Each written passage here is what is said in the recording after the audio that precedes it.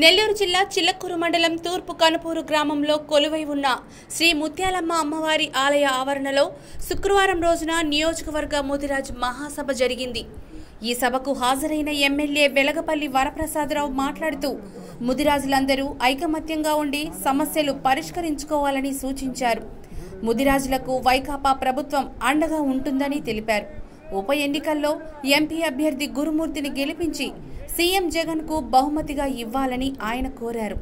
ఈ సందర్భంగా ఎమ్మెల్యే వరప్రసాద్ గారిని ముదిరాజ్ కార్పొరేషన్ చైర్మన్ కొన్న వెంకటనారాయణ ముదిరాజ్ పలువురు సర్పంచులు వార్డు సభ్యులు ఘనంగా సన్మానించారు.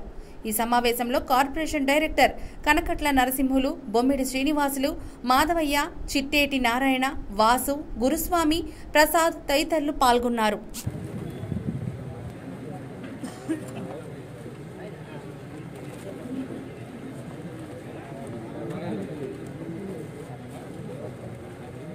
వస్తుందా చూడు సార్ అట్టే ఉండండి సార్ ఒక్క నిమిషం. అట్లాగే ఉండండి.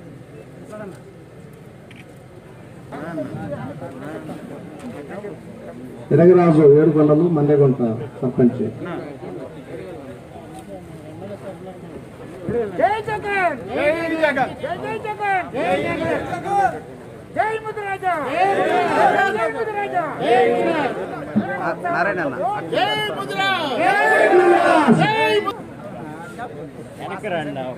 ఈ యొక్క కార్యక్రమానికి కర్త కర్మ క్రియ అయినటువంటి గురుస్వామి ప్రసాదు నారాయణ ముదిరాజ్ గారు ఈ యొక్క కార్యక్రమానికి వాళ్ళు ముందుగా ఏదైనా చేయాలంటే కర్త అయినా కర్మ అయినా క్రియ అయినా మూడు ఉంటేనే ఇంత పెద్ద అదేవిధంగా సారి ఏడు కొండలు కూడా ఈ యొక్క కార్యక్రమాన్ని గౌరవ చైర్పర్సన్ గారు ఒకసారి మనం అందరూ కూడా కలుసుకుంటామంటే శాసనసభ్యుల వారి ద్వారా ఈ యొక్క కార్యక్రమాన్ని మనం అందరం కూడా ఏర్పాటు చేసుకోవడం జరిగింది.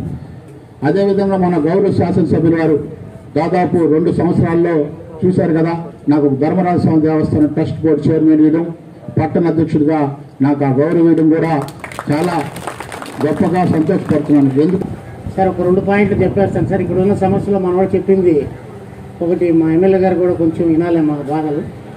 ఒకటి మనం బీసీ డీలో డీలో ఉన్నప్పుడు రాజశేఖర రెడ్డి గారు సీఎం గారు సార్ అప్పుడు కంబైండ్ రాష్ట్రం. మమ్మల్ని గుర్తించి మా కాసాని జ్ఞానేశ్వర్ గారు పాపం బాగా మన ఉదిరాజులకు విలువిచ్చి రాజశేఖర రెడ్డి గారు బీసీ డి నుంచి ఏకి మార్పిచ్చి ఆ టైంలో మన వాళ్ళకి చాలామందికి ఉద్యోగాలు రావడం చాలామంది చాలా చిన్న స్థితిలో ఉన్నాం సార్ మనం. అప్పుడు చాలా సక్సెస్ అయినాం కొన్ని రోజులే. బీసీ డి నుంచి ఏకి అది ఒక్కటి చేస్తే మనం ఎన్ని పార్టీల్లో ఉన్నా మన ముదిరాజులందరూ జగన్మోహన్ రెడ్డి గారికి ఖచ్చితంగా రుణపడతారు రుణపడి ఉంటారు. ఇది జరిగేది ఖచ్చితంగా జరుగుతుంది. చేయాలని మేము జగన్మోహన్ రెడ్డి సార్ని రిక్వెస్ట్ చేసుకుంటున్నాం. మన ఎమ్మెల్యే గారి ద్వారా వినవించుకుంటున్నాం పోతే నెంబర్ టూ మాకు ఒక స్టడీ సర్కిల్ పేద విద్యార్థులు హాస్టల్ వసతి గురించి ఒక భవనం మేము రాష్ట్రానికి మొత్తానికి కలిపి తిరుపతిలో ఒకటి సైట్ అడుగుతున్నాం సార్. దానికి కూడా మా గూడూరు ఎమ్మెల్యే గారితో సపోర్ట్ చేసి రాష్ట్ర స్థాయిలో సీఎం గారి దాకా ఈ రెండు డిమాండ్స్ మాకు కొంచెం మా సార్కి మా బీసీలు అంటే ఎస్సీ ఎస్టీలు మైనార్టీలు అంటే సార్ మంచి అభిమానం. మా ముదిరాజులు అంటే కూడా చాలా అభిమానం బీసీలు అంటే. సార్ని కొంచెం హెల్ప్ చేయాల్సిందిగా మేము రిక్వెస్ట్ చేస్తున్నాం. ఖచ్చితంగా మనం ఖచ్చితంగా చేసుకుందాం మన ముదిరాల గురించి. అది ఈ ద్వారా నేను నెల్లూరు జిల్లా నుంచి చైర్మన్ అయిన వ్యక్తిని. దాని గురించి ఆలోచన లేదు. అమ్మవారి ఆశీర్వాదం కూడా మనకు ఉంటుంది. ఖచ్చితంగా మన జగన్మోహన్ రెడ్డి గారికి ఒక చిన్న గిఫ్ట్గా మన తిరుపతి పార్లమెంట్ అభ్యర్థి గురుమూర్తి గారిని మన ముదిరాజులందరూ సపోర్ట్ చేసి అంటే పార్టీలకి అతీతంగా అనుకోకండి. మనకి న్యాయం జరగబోతుంది ముందు. అది పార్టీ ఫీలింగ్ పెట్టుకోవద్దు దయచేసి. మనకి న్యాయం జరగబోతుంది అనేది చెప్పినట్టు పెద్దలు అన్ని పార్టీలు అందరూ చూశారు. ఇప్పుడు పార్టీలు అనుకోవద్దు.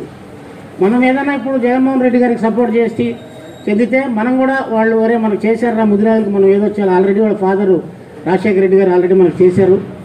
Please support me of Tirupati parliament member Gurumurthy గారు. ఈ అబద్ధాలు పేరు ఒక రైడీగా ఉన్నాడు. అప్పటికే మోసాలు చేసి మోసాలు చేసి మోసాలు చేసి ఆయన వెళ్ళిపోతే అలా నక్కలాగా వచ్చేయడానికి తెలుగుదేశం అధ్యక్షుడు ఉన్నాడు మనల్ని మోసం చేసింది చాలా మనల్ని అవమాన పెట్టింది చాలా అంతు చూస్తాడట. ఎవడంతా ఎవడ చూశాడో మనం చూసాం కదా మనం. ఆ పంతొమ్మిదిలో చూపించిన తర్వాత ఇదో గ్రామ గ్రామ అధ్యక్ష సర్పంచంలో ఎలా చూపించారు? ఆ తర్వాత మున్సిపాలిటీలు ఎలా చూపించారు? రేపు ఎంపీ కూడా అంత ఉన్నంత చూపిస్తాను మనం ఒక్క ఓటు కూడా మన బీసీ ఎస్సీ ఎస్టీ మైనారిటీ సోదరులు ఒక్క ఓటు పోకూడదు. తెలుగుదేశానికి కానీ బీజేపీకి కానీ. ఎందుకో తెలుసా? ఇలాంటి ప్రభుత్వం మనం ఎన్ని జన్మలు కూడా వైఎస్ఆర్ ప్రభుత్వం జగన్మోహన్ రెడ్డి గారు లాంటి నాయకుడు మనకు దొరకడు. దొరకడు. కానీ ఇన్ని కార్పొరేషన్లు యాభై ఆరు కార్పొరేషన్లు ఇంత డబ్బులు తీసేయడం దాదాపు మనకు సంవత్సరంలో మన బడ్జెట్ ప్రకారం చూస్తేనన్నా కేవలం రెండు లక్షల కోట్లు చిల్లర వస్తుంది. అందులో మనకు దాదాపు యాభై శాతం తొంభై ఏడు వేల కోట్లు మనకి డైరెక్ట్గా మన అకౌంట్లో పడిపోతుంది. అలాంటి ముఖ్యమంత్రిని మనం పోగొట్టుకోకూడదు. ఎప్పటికీ కూడా.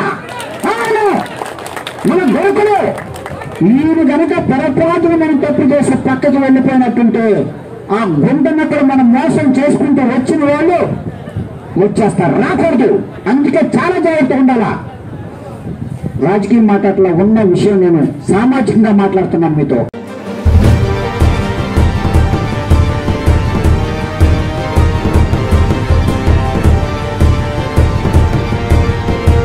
మరిన్ని వార్తలు విశ్లేషణలకు మా పేజీని లైక్ చేయండి సబ్స్క్రైబ్ చేయండి.